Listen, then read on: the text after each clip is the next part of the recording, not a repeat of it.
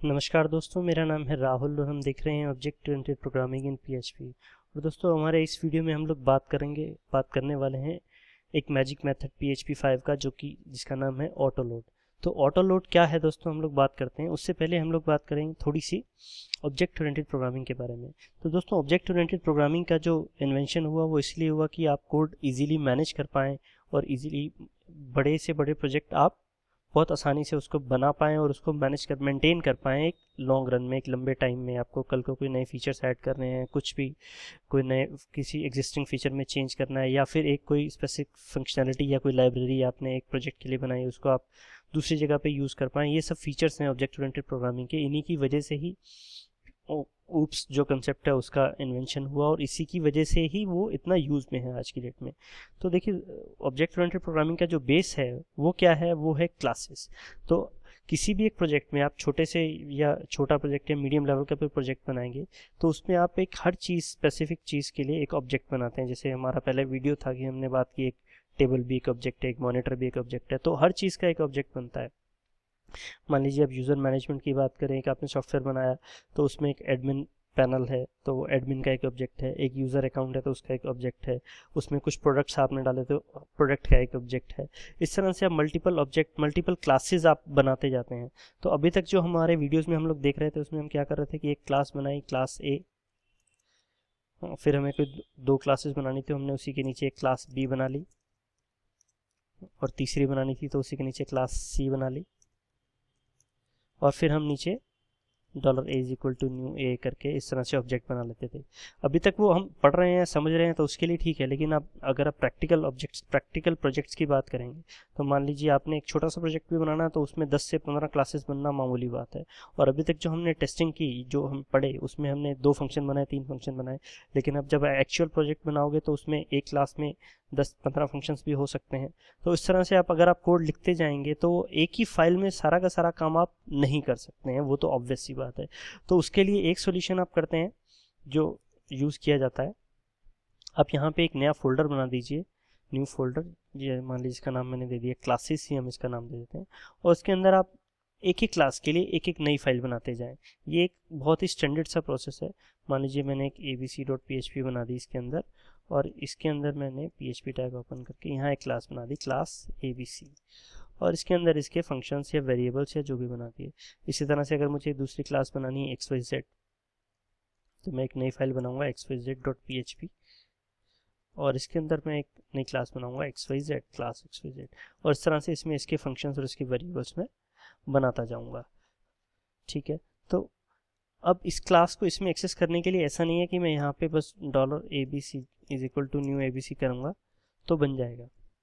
क्योंकि देखिए अगर मैं इस फ़ाइल को एक्सेस करना चाहता हूँ तो एरर आती है fatal error class A B C not found in index online three यहाँ ऑनलाइन थ्री हम लोग एक्सेस करने की तो कोशिश कर रहे हैं, लेकिन वो क्लास हमने इंडेक्स डॉट पी में डिफाइन नहीं की है हमने दूसरी जगह एक फ़ाइल बनाई है, लेकिन उसके बारे में पीएचपी इंटरप्रेटर को कुछ नहीं पता कि आपने कौन सी फ़ाइल कहाँ बनाई है।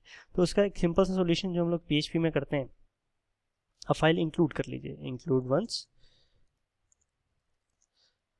classes slash A B C dot P H P और ये एरर चली जाएगी, क्योंकि अब वो क्लास उसको यहाँ पे मिल गई। इसी तरह से अगर आपने एक दूसरी क्लास बनाई एक्स वाई जेड तो उसको भी आप इंक्लूड कर लीजिए। Classes slash X dot P H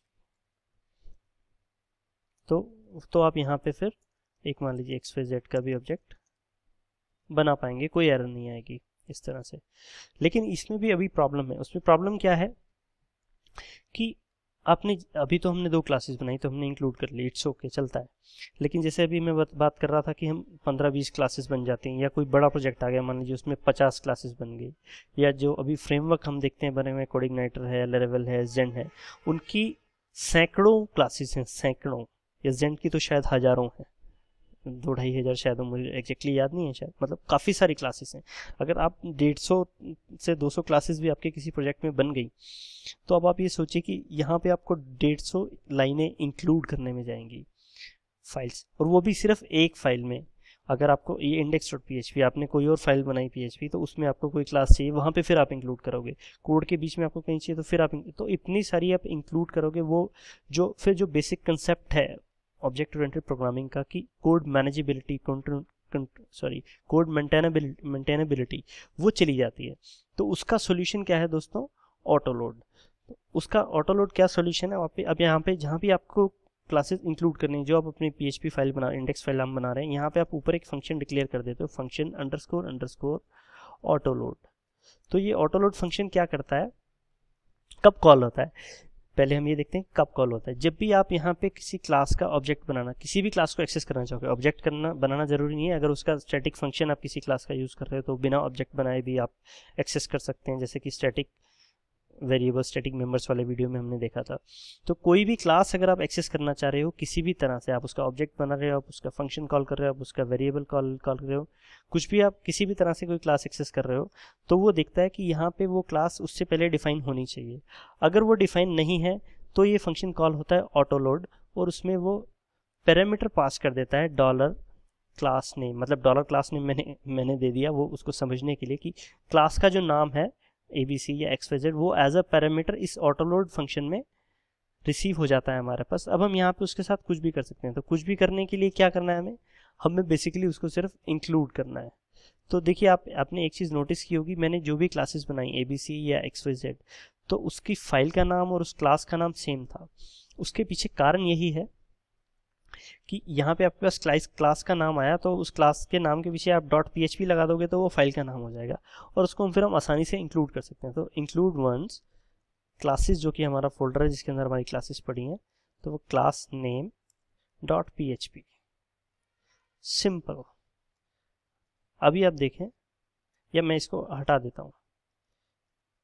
तो यहाँ पे हमारे पास क्या एरर आती है? Fatal class fatal error class A B C not found या अगर सिर्फ़ एक्स वाई जेड होगी तो भी सेम एरर आएगी। इस तरह से। लेकिन ये अगर फ़ंक्शन हमारा कॉल होता है, ये फ़ंक्शन हमने डिफाइन करके रखा है तो ये एरर नहीं आएगी। क्योंकि जब पी इंटरप्रेटर ने index dot P file access की, उसने देखा कि ये क्लास ए हमको चाहिए। यहाँ पे क्लास नहीं मिली उसको डिफाइन की हुई। तो उसने ऑटोमेटिकली ये फ़ंक्शन ऑटो लोड कॉल कर दिया। जैसे कि मैंने पहले वीडियो में इंट्रोडक्शन में ही बताया कि मैजिक फ़ंक्शंस वो हैं जो ऑटोमेटिकली किसी भी स्पेसिफिक इवेंट पे कॉल होते हैं। तो जो ये, जब हम क्लास कॉल करते हैं और उसका कोड नहीं मिलता है तो ये फ़ंक्शन कॉल होता है। उसमें ये हमें क्लास का नेम पास हो जाता है, यहाँ पे हमें मिल जाता है। उसके साथ हम चाहें, जो कि हम कर रहे हैं तो इंक्लूड कर लेते हैं ताकि वो एरर नहीं आए। अब हमारा काम क्या हो गया? अब हम जितने भी, कितने भी क्लासेस बनाने हैं इस क्लासेस फोल्डर के अंदर A B C X Z D F G H I या जितनी चाहें आप दस क्लासेस बनाएँ, पचास बनाएँ, सौ बनाएँ, एक हज़ार क्लासेस बनाएँ, कोई फ़र्क नहीं पड़ता। आपको सिर्फ़ ये फ़ंक्शन लिखना है और कोई भी दूसरी फ़ाइल इंक्लूड करने की ज़रूरत नहीं है। तो ये होता है दोस्तों ऑटो लोड फ़ंक्शन जो कि आपकी हेल्प करता है आपकी कोड मैनेज करने में। आप अलग अलग क्लासेस अलग अलग फाइल्स में बनाइए और ये एक फ़ंक्शन आप ऊपर डिक्लेयर कर दीजिए और नीचे फिर उन क्लासेस का आप यूज़ कर सकते हैं। तो ये होता है दोस्तों ऑटो लोड फ़ंक्शन अब अपने नेक्स्ट वीडियो में, हमारे नेक्स्ट वीडियो में हम लोग देखेंगे कंस्ट्रक्टर फ़ंक्शन के बारे में। वैसे आप लोग सब उसके बारे में ऑलरेडी जानते होंगे, लेकिन फिर भी एक वीडियो तो बनता है।